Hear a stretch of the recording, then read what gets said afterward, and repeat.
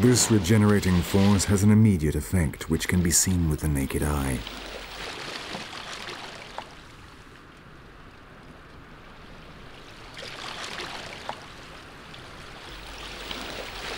There are vast stretches of brown seaweed running hundreds of miles along the coast.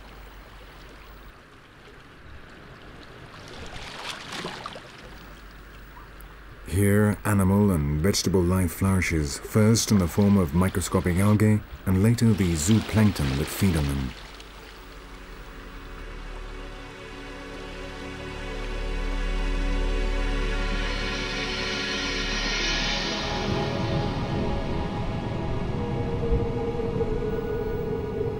Like veritable jungles, the seaweed provides shelter to millions of creatures hoping to remain unnoticed among the dense vegetation.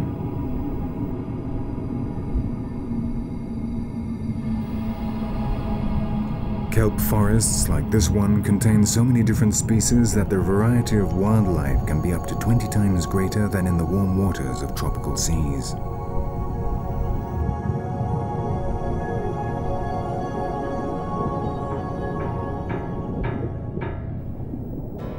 This crab has cultivated its own garden above its head in order to remain unnoticed. But the effect is very different when it is time to move house.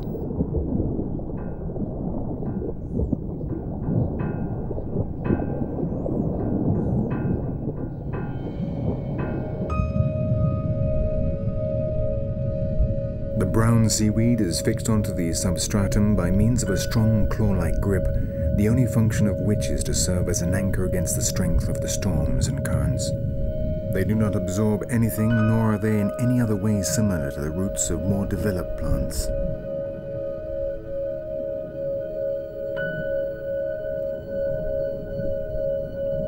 These provide an incredibly strong hold, a firm base for the rest of the plant whose biological obligation is to float and reach up to the light at the surface.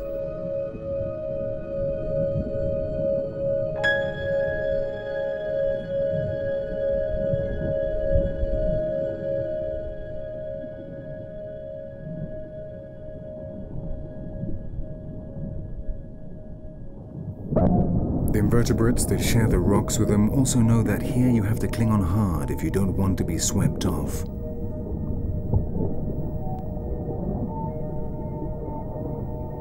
This is a world of washed out colors and soft forms. The cloudy water and the strong undertow mean the polyps here do not develop the hard forms nor the brightly colored designs of tropical coral reefs.